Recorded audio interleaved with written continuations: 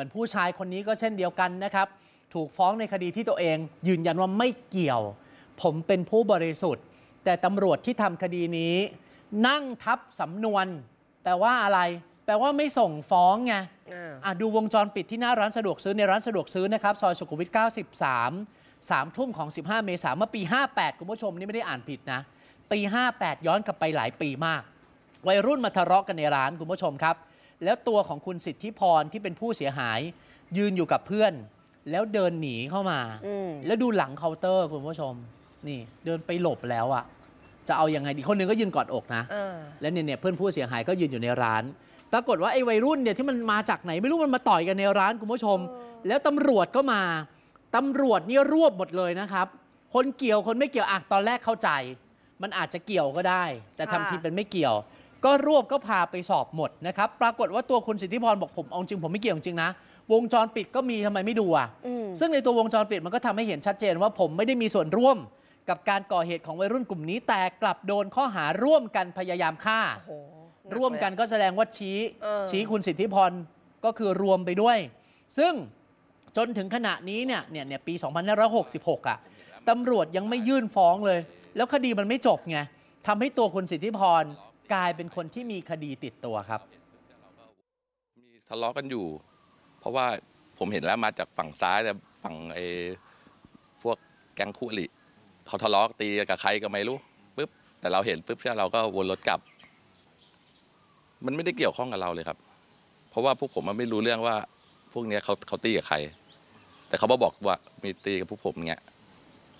อะทีเนี้ยอืมคือคุณตำรวจก็ต้องทำสำนวนค่ะตามข้อเท็จจริงนะ แต่ทีเนี้ยพอมันผิดไปจากข้อเท็จจริงเนี่ยมันมีวัตถุประสงค์อย่างอื่นหรือไม่ใช่ไหมทางภรรยาก็ไปถามความคืบหน้าทางคดีตำรวจเจ้าของคดีไม่ส่งสำนวนฟ้องตามกระบวนการครับ แต่พูดว่าให้จ่ายตังค์แสนหนึ่ง นั่งทับคดีไม่ส่งฟ้องจะทำไม อ่าอ้าวนี่นี่นี่ข้อมูลจากทางฝั่งภรรยานะเขาอ้างอย่างนี้นะ นั่งทับคดีไม่ส่งฟ้อง ให้จ่ายเงิน1นึ่งแสน เป็นไง เป็นค่าที่จะทำคดีให้จบหรือเปล่า ปรากฏว่าตัวของฝั่งเนี้ยเขาจะสู้คดีค่ะเขายืนยันว่าพยานหลักฐานที่มีสู้ได้อืมหลุดแน่ ฟ้องเลยส่งเลยส่งฟ้องเลย ปรากฏไม่ยอมส่งครับ แล้วเห็นว่าไปร้องเรียนให้ตรวจวินัยตรวจสอบวินัยของตำรวจเจ้าของคดีด้วยนะอืมแล้วเขาก็มีการตั้งคณะกรรมการขึ้นมาตรวจสอบตำรวจรายนี้ และผลออกมาก็คือว่าตำรวจรายนี้มีมูลความผิด ถูกพักราชการไปแล้วนะ แต่ว่าพอดูคดีของนายสิทธิพรสามีของเธอเนี่ย ชื่อเจ้าของคดียังเป็นตำรวจนายนี้อยู่อะแล้วก็ไม่มีใครมาดูแลเดินเรื่องต่อเลยค่ะ เราก็มีความรู้สึกว่าเรากลัวค่ะ ว่าวันหนึ่งเราจะไม่ปลอดภัย คือคนที่ถือคนที่มีโอกาสได้เรียนกฎหมาย ได้รู้กฎหมาย ถือกฎหมายเหนือประชาชน แต่คุณกลับเอากฎหมาย มาลังแกประชาชน หนูมองว่ามันไม่แฟร์ค่ะ โลกมันไม่ได้ยุติธรรมกับกับคนที่ด้อยโอกาสอย่างหนูอะตำรวจเองเป็นต้นทางของยุติธรรมนะครับ ถ้ามันเริ่มต้นไม่ยุติธรรมแล้วเนี่ยมันจะไม่เกิดเลยนะครับในปลายทาง ทีนี้คุณผู้ชมเพื่อนของคุณสิทธิพรเองก็อยู่ในเหตุการณ์ก็ยืนยันนะครับว่า วันนั้นไม่เกี่ยวจริง ๆ แล้วตัวของเขาเนี่ยวิ่งไปหลบในร้านด้วยซ้ำหลังแคชเชียร์ค่ะมันจะมีผู้ชายคนหนึ่งที่หลบอยู่แล้ว สักพักวัยรุ่นตีกันตีกัน แล้วไอ้คนที่อยู่หลังแคชเชียร์เนี่ย วิ่งออกมาไปกระโดดต่อยด้วยนะอืมคือตอนนั้นก็งงกันไปหมดจนตำรวจมา แล้วก็เนี่ยวงจรปิดที่เอามายืนยันกับตำรวจบอกนี่เห็นไหมผมยืนตรงเนี้ยผมไม่เกี่ยวอ่าตำรวจก็อังงั้นเองเป็นพยานกันไม่เป็นพยาน แต่ปรากฏว่าตำรวจคนที่ไม่ยอมส่งฟ้องคดีเนี้ยคุณผู้ชมครับ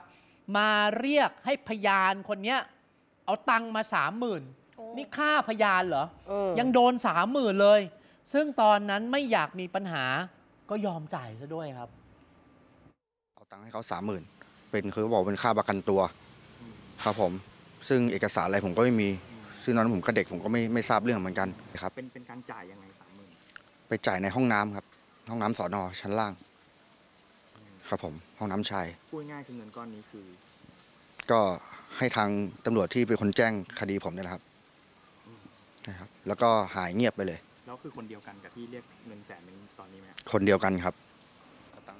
ข้อมูลค่อนข้างตรงกัน 8 ปีแล้วนะคะ คุณผู้ชม ซึ่งวันนี้เองเนี่ยนายสิทธิพรคนร้องเรียนค่ะ ก็จะเดินทางไปที่กองบัญชาการตำรวจนครบาลต่อ คือขอความช่วยเหลือแหละ อยากให้ดูเรื่องของพฤติกรรมของตำรวจนายนี้ แล้วก็อืมเรียกร้องความเป็นธรรมความบริสุทธิ์ให้กับเออตัวเองด้วยค่ะอะ เท่าที่ฟังกลุ่มเนี้ยยืนยันว่าตัวเองมีพยานหลักฐานที่หนาแน่นพอค่ะที่จะพิสูจน์ความบริสุทธิ์ได้นะครับคุณผู้ชม